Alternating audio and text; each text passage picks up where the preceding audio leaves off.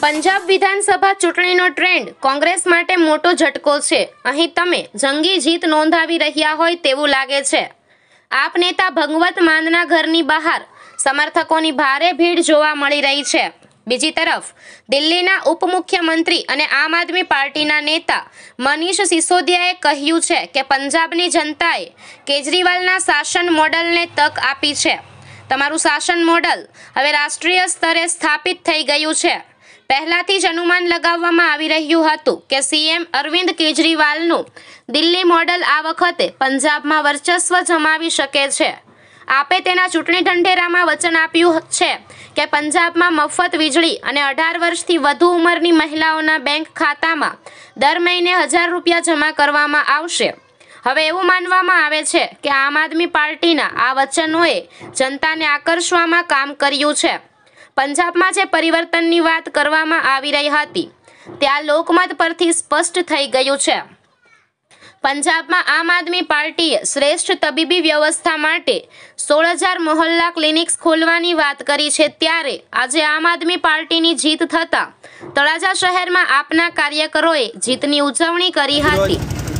તળાજા તાલુકા આમ આદમી પાર્ટી વતી અમે દસ માર્ચ બે હજાર બાવીસની જે વિધાનસભા પાંચ રાજ્યોની ચૂંટણીમાં એક રાજ્ય, પંજાબ જેમાં આમ આદમી પાર્ટી કામની રાજનીતિ છે એમને લોકોએ સ્વીકારી છે, એમને લોકોએ અપનાવી છે.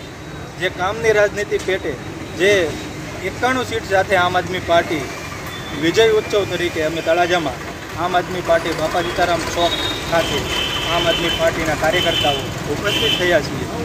તો આ જ રીત આવી જ રીતે આમ આદમી પાર્ટી આવનાર બાવીસની વિધાનસભાની ચૂંટણીમાં પણ પડગમ લહેરાવે અને જનતાને કામની રાજનીતિ માટે જનતા આવી રીતે આગળ ને આગળ આવતી રહે અને આમ આદમી પાર્ટી રાષ્ટ્રીય લેવલની પાર્ટી વિજય ઉત્સવ મનાવતી રહે એવી ભાવના સાથે અસ્તુ આજરોજ દસ માર્ચના રોજ ભારત માટે અને ગુજરાત માટે અને ખાસ કરીને દેશ માટે સુવર્ણ દિવસ એવો કહી શકાય આમ આદમી પાર્ટી, જે દિલ્હીની અંદર દસ વર્ષથી પોતાનું શાસન ચલાવે છે, એના શાસનને જોઈ અને એના કામગીરીને લઈને જે પંજાબ, પંજાબની અંદર આજે પંજાબની જનતાએ જે જનાદેશ આમ આદમી પાર્ટી ઉપર ભરોસો મૂકી અને સફળ નેતૃત્વ માટે જે સરકાર બનાવવાનો મોકો આપ્યો છે, ત્યારે આવનારી બે હજાર બાવીસની ચૂંટણીમાં આ ગુજરાતની જનતા પાસે અમે એવી અપેક્ષાઓ રાખીએ છીએ કે આમ આદમી પાર્ટીના એક એક ક્રાંતિકારી યોદ્ધાઓ તમારા માટે લઈને કાયમ માટે લડશે અને બે હજાર બાવીસમાં